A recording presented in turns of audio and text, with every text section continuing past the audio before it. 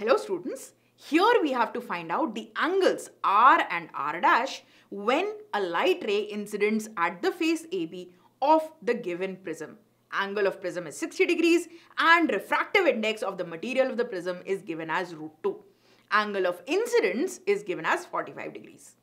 So, here we can see that there are two refractions happening at interface AB and then second at interface AC. Whenever there is a refraction, we can always apply Snell's law.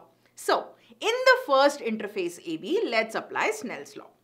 Angle of incidence is 45 degrees, angle of refraction is R. So, mu1 sine I is equal to mu2 sine R, right? 1 into sine 45 degrees is equal to root 2 times sine R.